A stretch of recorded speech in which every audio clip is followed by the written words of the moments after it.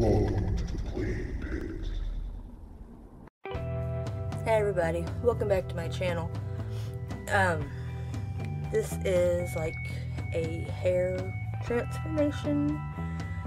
I will include a before picture um, in the video, but this is my hair after I dyed it emerald green. So, I will show you now how I went from how I turned into this green goddess hair. Okay, um, here's the before picture and then the after picture. Um, so yeah, this is the brand that I use. One and only argan oil infused uh, hair dye in emerald green. And oh my god, I have fallen in love with this brand for the bright colors. Because when I went blue, I used the same uh, the same brand, and the blue was absolutely gorgeous. And for me, the green is even more gorgeous. So I can tell you now, I will be sticking to the one and only brand with the argan oil for doing bright colors in my hair because I found it's the only brand that actually stays in my hair longer than you know two weeks.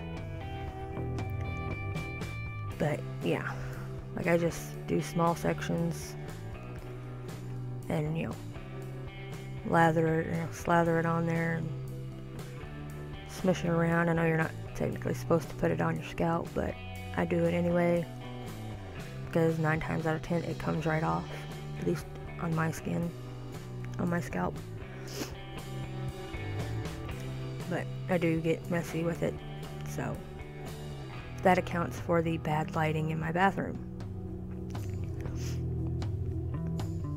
Yeah.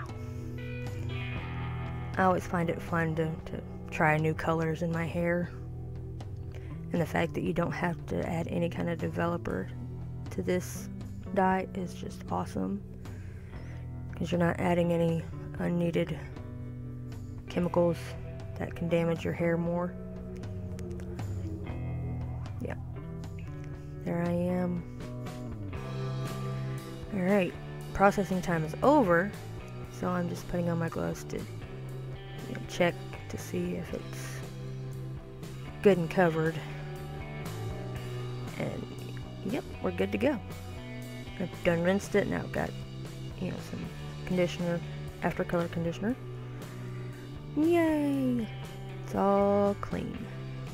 Adding some heat protectant leave-in conditioner. Brushing it out very carefully. And then here, then blow drying it. Yay! Which, you know, even though the lighting washes out the color, you can still see that the green is pretty much spot on matching with my the green on my shirt. And that is something that makes me very happy. And that is how I transformed from blonde bleh to emerald green. Thanks for watching. Bye.